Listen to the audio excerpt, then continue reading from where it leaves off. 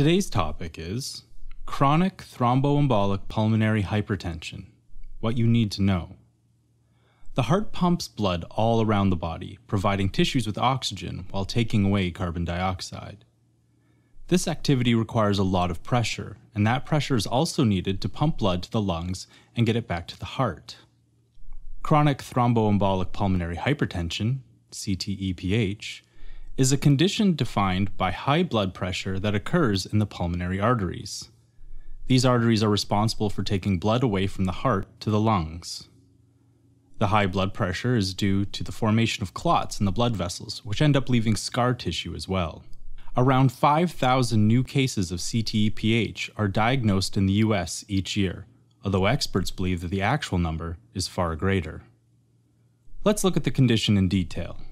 Causes CTEPH occurs due to the formation of blood clots in the pulmonary arteries. These clots lead to the formation of scar tissue, causing the arteries to narrow, putting more pressure on the heart.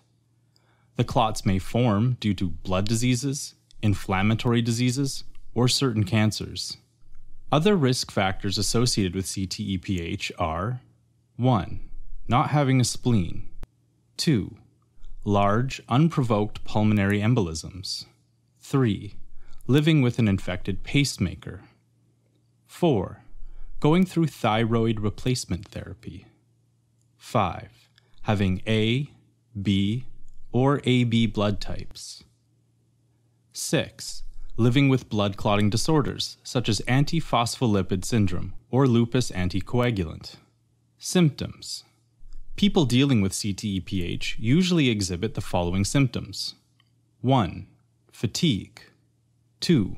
Feeling short of breath while exercising. 3. Heart palpitations. 4. Fainting. 5. Cyanosis, blue color on the fingers and toes. 6. Development of edemas. 7. Coughing up blood. Rare. Diagnosis a healthcare provider will first conduct a general examination before ordering any of the following tests if they suspect CTEPH. 1. An echocardiogram.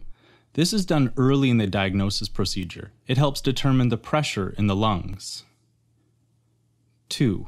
A lung ventilation perfusion scan, VQ scan. This conducts x ray scans of the lungs to check for any blockage or clots.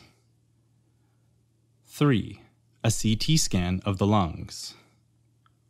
4. A pulmonary angiography. 5. Pulmonary function tests. And 6. A right heart catheterization.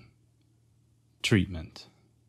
Surgery is the most common treatment option for CTEPH. It is preferred if the clots are accessible for removal.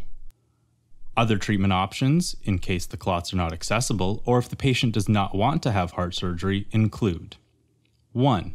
Percutaneous balloon pulmonary angioplasty. 2. Riociguat treatment. 3. Double lung transplant. Thank you for watching our video. Please do not forget to like and share the video. Also, please subscribe to the channel to stay updated on our latest videos.